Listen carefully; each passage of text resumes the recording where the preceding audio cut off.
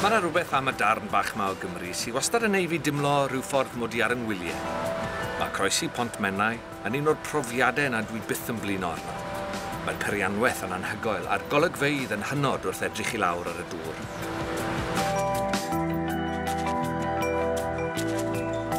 Ac mae gan y fennau rhan allweddol i chwarae yn stori'r twf mewn cynnyrch bwyd o Gymru yn y blynyddoedd diwethaf yma.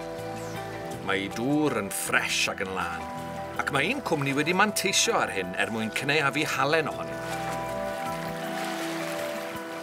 Halen Môn yw'r cwmni, ond dwi erioed wedi gweld fferm halen o'r blaen ac mae Richard Hughes Roberts sydd wedi bod yn rhan o'r cwmni ers y dechrau am barod i'n hywys i o gwmpas. Felly, Richard, dyma dechrau'r broses a'r dŵr yn cael ei bwmpio o'r fennau fan hyn. Na fo. Um, mae'r peipiau yma wedi gladdu dros y traeth um, um, a mae rhaid i ni talu um, i'r goron i, i gallu cadw y, y pipell o dan y, y, y draeth yma yma. Ac os yna rhywbeth arbennig am y dŵr yma yn y fennau sydd yn neud yn, yn addas ac yn bwrpasol at greu halen môn? Oes, um, mae'n lle dda i tynnu dŵr môr i fiewn achos mae'r llanw yn, yn mynd trwy'r afon mynau wrth gwrs pedwar gwaith y diwrnod, felly mae'n dŵr blaen iawn. Mae'n bir iawn a mae'n cael ei hidlo gan y, gan y cerig a'r traeth cyn cael ei... Uh, a mae yna muscles ar, ar y draeth yn fama hefyd sydd yn llnau y dŵr yn ychydig hefyd. Wedi bwmpio o'r môr tu allan i'r fferm, mae'r dŵr hallt yn cael ei ferwi ar dymheredd isel am rai dyddiau, a ei adael dros nos mewn tanc i grisialu, ac erbyn y bore, maen nhw wedi tyfu ac yn barod i'w cyneuafu. pob un rhan o'r broses yn gorfod cael ei wneud yn ofalus iawn, achos mae'r crisiala yn hawdd iawn i dorri. Dyna beth sy'n nodweddiadol wrth gwrs am uh, halen môn, yw'r crisialau mawr yma, ie. Yeah. Un o'r pethau. Felly, yn codio allan, ac yn ofalus iawn, o'n i roed o yn y, yn fanna. Yn barod am y broses nesaf, Mae eisiau olchi yn drylwyr, proses araf ond hollbwysig ar gyfer purdeb i olwg, ond hefyd blas glân ac unigryw'r halen mae'r cwmni yn ei ddymuno. Ac mae'r cynnyrch wedi newid dros y blynyddoedd diwetha er mwyn cyflwyno rhai cynhwysion anusgwyl. O na, chef yn Harvey Nichols yn, yn, yn Llyntan nath helpu ni reit yn ddechrau um, i wneud y uh, halan efo spices um, organic.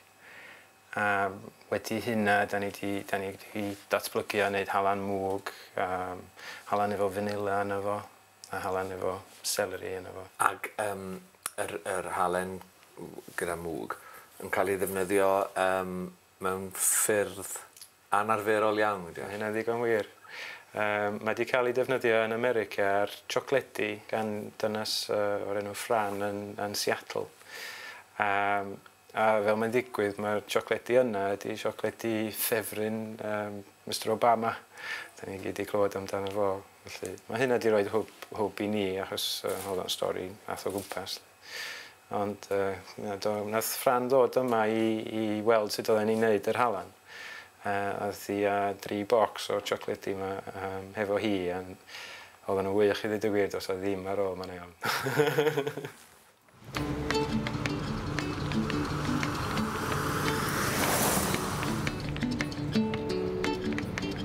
hon yn stori nallai anwybyddu. Dyn mwyaf pwerus y byd yn mwynhau halen ogledd Cymru ar ei siocled.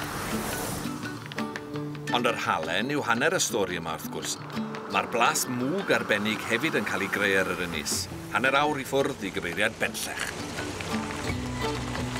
Mae Sir Fôn yn enwog am ei choi derw, a chwmni Derry Smokery yn Dilas sy'n gyfrifol am y blas mwg o dan law Gwen Macready.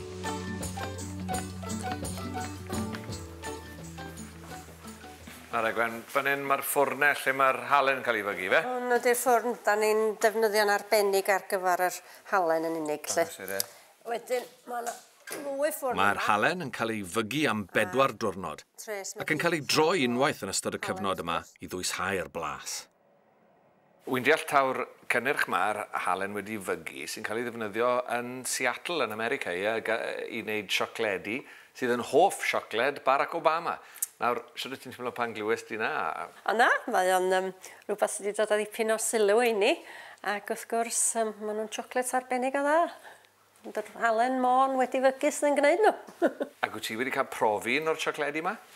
Mi githon ni un o'r ola, un tro, a ddarn ni dorri fe fyny'n darna bach a siarad allan i bawb.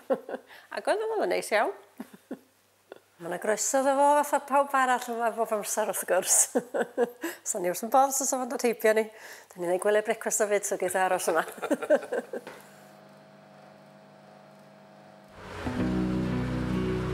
Mae'n syniad mor syml, mor amlwg, fel y syniadau e gorau i gyd am hwnni. Ac wrth i fi ddilyn trywydd y straeon yma o ddau begwn Cymru, mae'n bryd i fi newid un ynys am ynys o fath arall. Mae'r farchnad yn America yn darged amlwg i gwmnïau o bob cwr o'r byd, o achos i maint wrth gwrs, ond hefyd oherwydd y cyfleon amrywiol sydd ar gael i apelio at gynulleidfa eang. Mae'r ddau gwmni dwi wedi ymweld â'n weisios wedi torri trwodd yn y farchnad gystadleol hon. Dwi am fynd ar daith i wybod mwy am y dylanwad mae cynnyrch o Gymru yn ei gael ar gwsmeriad gwlad mwyaf pwerus y byd.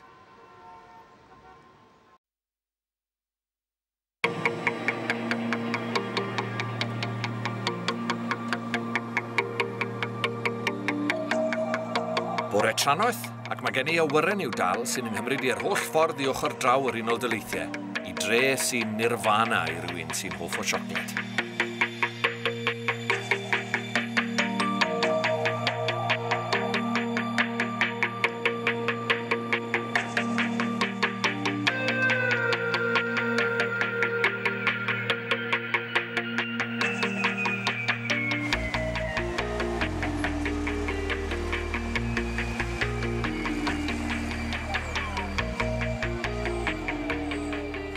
Ond i wastad yn fan mawr o'r gyfres gomedi Frasier, sydd wedi gosod fan hyn yn Seattle.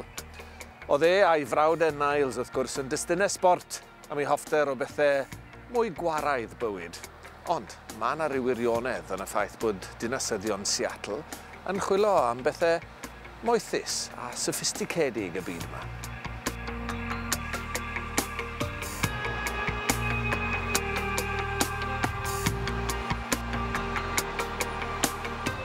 a pobl Seattle yn enwog am eu cariad at goffi. Dim ryfedd felly bod cwmni Starbucks wedi dechrau yma yn y 70au. A gan fod y tywydd yn eitha mwyn drwy'r flwyddyn, maen nhw hefyd yn hoffi bita siocled gyda'i coffi. Mae yna droddodiad mae o gefnogi busnesau bach artisan, ac un o'r rhai mwy o llywyrchus yn ddiweddar yw cwmni siocled Fran Bigelow.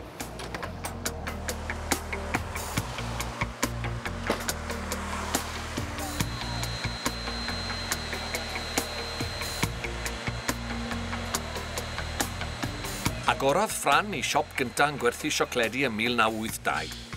Ac mae hi'n cael ei chydnabod ar draws y wlad am adfywio'r diddordeb mewn siocledi safonol. Uchelgais Fran yw cadw purdeb y blas a'i briodi ar cynhwysion gorau. Yma yn yr Unol Daleithiau, mae yna droddodiad o gymysgu'r hallt a'r melus, snicker bars, cracker jack a popcorn hallt wrth gwrs. A mae Fran trwy gydweithio gyda Chwmni o Gymru wedi ffindo ffordd o ddarparu at ochr mwyaf moethus y farchnad. Dyma'r siocledi sy'n cynnwys halen môn, a rhain sydd at ddant yr arlywydd Obama.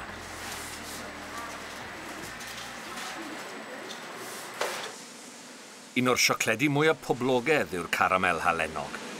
Mae canol y siocled yn siwgr pur wedi garameleiddio, ond wedi'r haenen galed allanol gael ei ychwanegu mae yna binsiad o halen wedi fygu yn cael ei deini ar ei ben.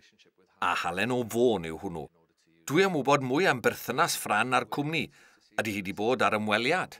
Yes, we visited Wales, and it was just over two years ago, and we, we saw how they were actually making the salt, which was just fascinating. We hadn't been to Wales before, and we fell in love with it. It was just wonderful, and all the people we met and, and the time we had, we just were just enchanted.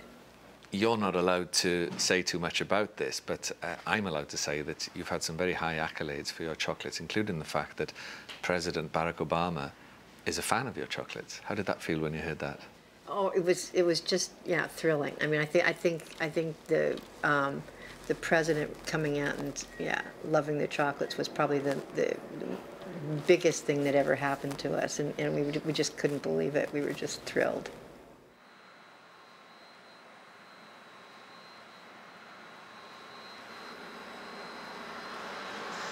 Mae'r halen yma yn dod o'r môr yn y fennau. Mae'n cael ei fygu gan goed derw sy'n tyfu ar Sir Fôn. A nawr yn cael ei ddefnyddio fan hyn yn Seattle, porthladd wrth ochr y môr tawel. Edrych mlaen at flasu rein.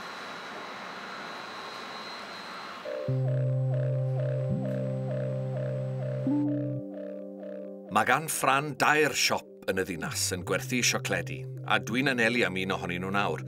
Er dwi ddim yn credu y bydd y siocledi y gwnes i paratoi gyne yn y siop heddi. Pwy a wyr, falle taw'r ar lywydd ei hun fydd yn joio'r rheini. Dyma lle rwy'n sylweddoli fod pris artisan i'r siocledi hefyd. 5 doler ar 20 am fox o 20, tua pint y darn felly. Wow.